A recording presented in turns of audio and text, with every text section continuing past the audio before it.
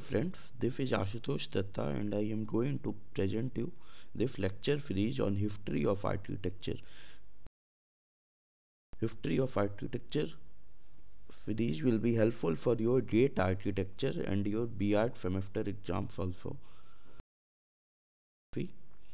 If you want to know about more about Indian architecture then I have already prepared a lecture from Delhi architecture, northern architecture, southern and eastern and western Indian architecture in my earlier videos. You can see those videos on my channel Offbeat. Now in history of architecture we will go through a series of lectures that is prehistoric, Egyptian architecture, West Asiatic architecture, Greek architecture, Roman architecture, early Christian, Byzantine, Romanesque, Gothic and Renaissance. lecture we will discuss the prehistoric architecture. Now prehistoric architecture is by the primitive man, the early man. The earliest of the man used to live in the caves.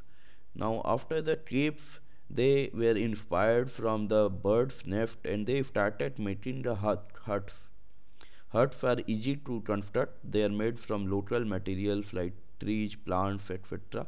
and they were used for shelters. Now, along with huts, one of the famous type of uh, monument is monolith. Monolith is found in different parts of the world and it is also known as menhir. Now what is a monolith? Mono means single, lith stands for stone.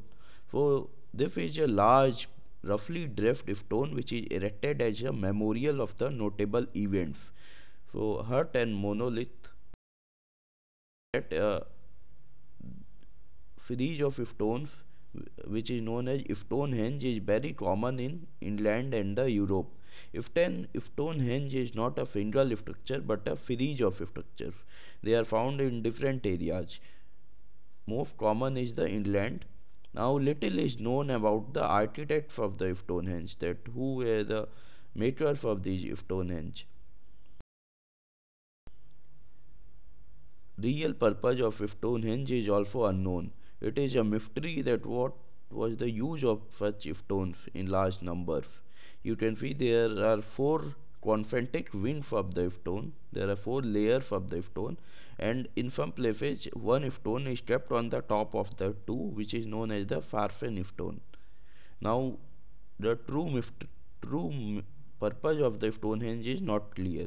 Some of the scholars suggest that they were used for the ceremonial purposes for some memorable events.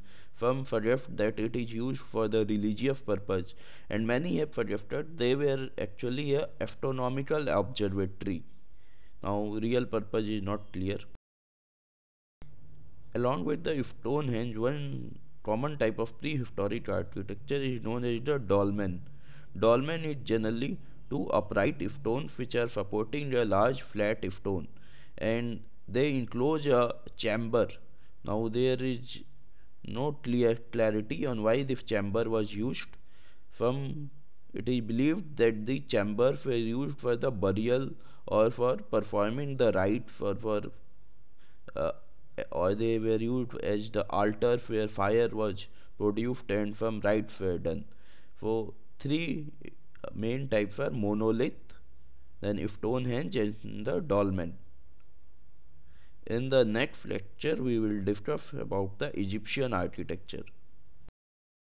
Like and subscribe our channel for more free lectures.